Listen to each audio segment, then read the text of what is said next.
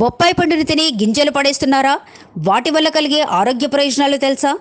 బొప్పాయి మంచి ఔషధాల గణి. బొప్పాయి పండుగా తింటారు. మరికొందరు పచ్చి బొప్పాయిని కూరగా చేసుకుంటారు. ఇక బొప్పాయి ఆకులు ఔషధ గుణాలతో నిండి ఉంది. ప్లేట్లెస్ తగ్గిన వారికి ఈ బొప్పాయి ఆకుల రసాన్ని ఇస్తారు. అయితే ఇప్పుడు బొప్పాయి పండులోని గింజలు కూడా ఆరోగ్యానికి ఎంతో మంచివి అని అంటున్నారు. సర్వసాధారణంగా బొప్పాయి పండు తిని గింజలు పడేస్తాం. అయితే ఈ గింజల వల్ల కలిగే ఆరోగ్య లాభాలు తెలిస్తే పడేసే ముందు ఆలోచిస్తారు. మన శరీరానికి కావాల్సిన పోషకాలు ఈ బొప్పాయి పండులో ఉన్నాయి. అంతేకాకుండా గింజల్లో ఇంకా మంచి పోషకాలు ఉన్నాయి. జీర్ణ వ్యవస్థ వ్యవస్థకు రక్త సరఫరాకు దంత సమస్యలకు బొప్పాయి పండు ఎంతగానో ఉపయోగపడుతుంది. కేవలం బొప్పాయి పండులోనే కాకుండా అందులోని విత్తనాలు కూడా మన ఆరోగ్యానికి ఉపయోగపడతాయి. రోజు పరిగడుపున ఈ బొప్పాయి గింజలు తింటున్నట్లయితే చాలా రోగాలు దరిచేరవని నిపుణులు అంటున్నారు. రోజు పరిగడుపున ఈ బొప్పాయి విత్తనాలు తిన్నట్లయితే కడుపులో ఉండే విష పదార్థాలు బయటికి వెళ్ళిపోతాయి. శరీరం అంతర్గతంగా శుభ్రపడుతుంది. కడుపులో ఉండే వ్యర్థాలు తొలగిపోతాయి.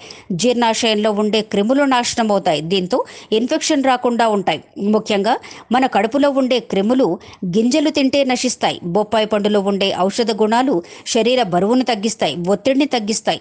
తరచుగా వచ్చే జ్వరం దగ్గు జలుబు వంటి ఇన్ఫెక్షన్ల నుంచి రక్షిస్తుంది. ఇన్ని ప్రయోజనాలున్న బొప్పాయి గింజలను ఇక నుంచి పడేయకుండా తినటానికి ట్రై చేయండి.